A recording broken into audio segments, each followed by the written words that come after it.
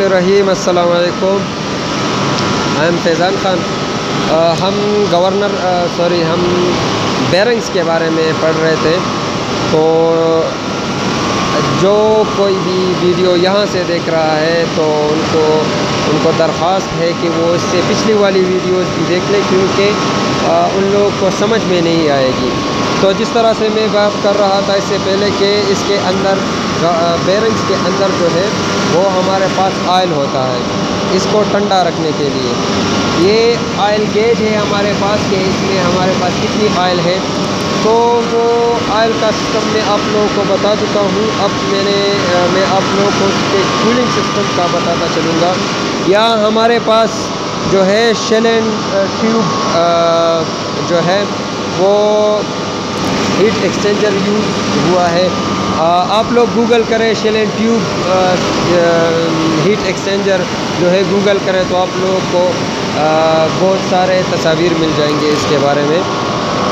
تو ہوتا کیا ہے، یہ ٹربائن کے انلیٹ سے ایک پائپ جو ہے، کنیکشن ہم نے پانی کا لیا ہوتا ہے۔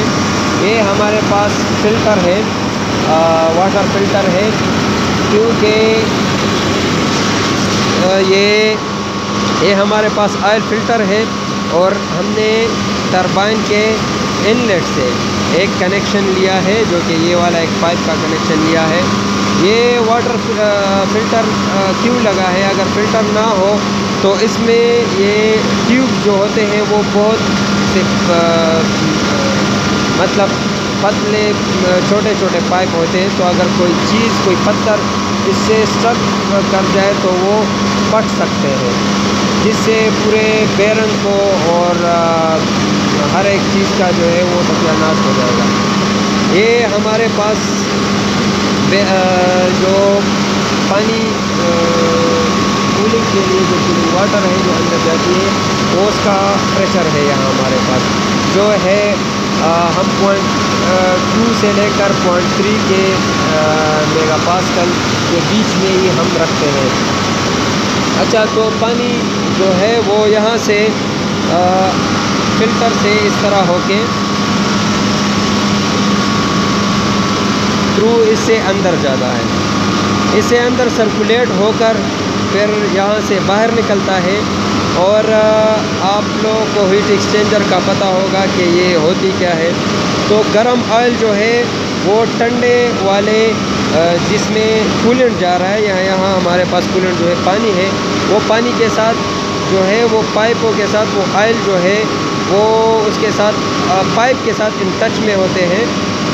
اور اس کے بہا پر وہ ٹھنڈا ہو جاتا ہے آئل جو ہے، وہ کول ہو جاتی ہے۔ اور پھر جو ہے وہ کول آئل جو ہے وہ اوپر آتی ہے، کیونکہ یہاں پر ہم ہمارے پاس سینٹریفیوگل فورس جو ہے وہ جنریٹ ہو رہی ہے شاف کی وجہ سے شاف کی ریولیوشن کی وجہ سے۔ تو یہ آئل جو ہے اس سائیکل میں اس طرح گھومتا رہتا ہے۔ تو گرم آئل نیچے آتی ہے، ٹھنڈی آئل اوپر جاتی ہے۔ آئل کس طرح ٹھنڈی ہوتی ہے؟ وہ جو یہاں پر کولنٹ ہمارے پاس اندر جاتا ہے۔ اس سے یہ جو ہے آئل ٹھنڈی ہو جاتی ہے۔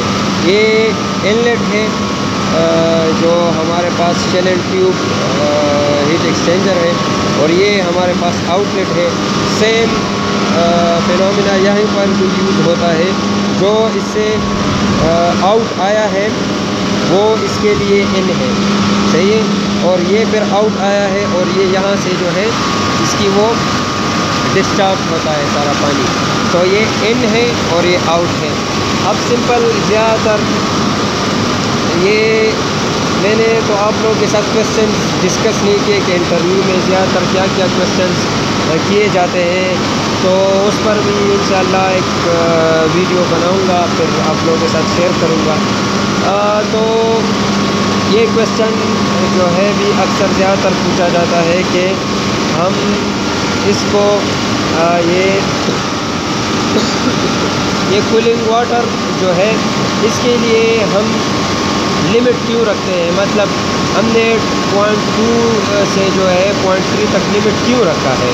ہم زیادہ بھی تو رکھ سکتے ہیں، یہ point eight one megapascal تک یہ جا سکتی ہے، ہم نے کم کیوں رکھا ہے؟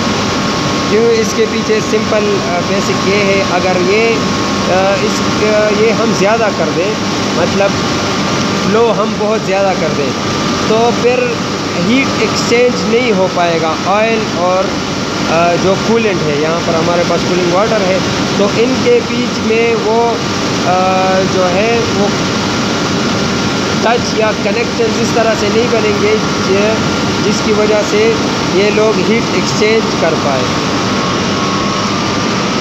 اب آتے ہیں فلائی ویل کے بارے میں ہم بتاتے ہیں۔ فلائی ویل کا جو ہے وہ مین جو رول ہے کسی بھی پاور ہاؤس میں، تو وہ بریک کے لیے یوز ہوتا ہے۔ کیونکہ اگر ہم یونٹ کو روکنا چاہیں تو ہمارے پاس اور کوئی بھی چیز نہیں ہے جس سے ہم یونٹ کو روک سکیں۔ یہ چونکہ ایک ہی شافٹ پر کنیکٹڈ ہے ٹربائن سے لے کر جنریٹر تک۔ تو اگر ہم فلائی ویل کو روکیں گے، تو پورا کا پورا یونٹ جو ہے وہ رک جائے گا۔ یہ بھی انٹرویو کے لحاظ سے ایک امپورٹنٹ کویشچن ہے۔ بریک کا سسٹم جو ہے وہ بھی ہم ڈسکس کریں گے انشاءاللہ سے۔ یہ ویڈیو بھی تھوڑی سی زیادہ ہو رہی ہے۔ انشاءاللہ نیکسٹ ویڈیو میں میں آپ لوگوں کے ساتھ ڈسکس کروں گا۔ اگر آپ لوگوں کے کوئی بھی کویشچنز ہو تو آپ لوگ ضرور پوچھ سکتے ہیں۔ Thank you good luck